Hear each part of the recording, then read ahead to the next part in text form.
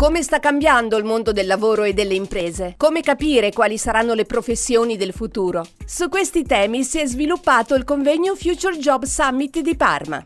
Interlocutore principale i giovani studenti. Tra i relatori professionalità del mondo delle imprese e delle start-up che hanno spiegato ai ragazzi come muoversi una volta terminato il percorso di studi. Eh, la tendenza però è chiara, serviranno persone in grado di sviluppare tecnologie, serviranno persone in grado di inserirsi nella comunicazione con modalità eh, diverse dal passato, serviranno persone che sappiano come dire, mettere la loro creatività al servizio dell'innovazione del prodotto, al servizio della costruzione di piattaforme software. Il mondo dell'istruzione si sta allineando con le esigenze del mercato delle nuove professioni. La ricetta magica dovrebbe essere una forte collaborazione tra università e imprese, cosa che già accade negli Stati Uniti.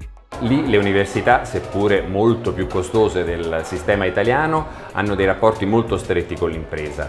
Gli studenti universitari, quelli più meritevoli, certamente molto prima di laurearsi entrano già in contatto con le aziende che cominciano a fargli una formazione parallela per poi farli entrare automaticamente nel mondo del lavoro.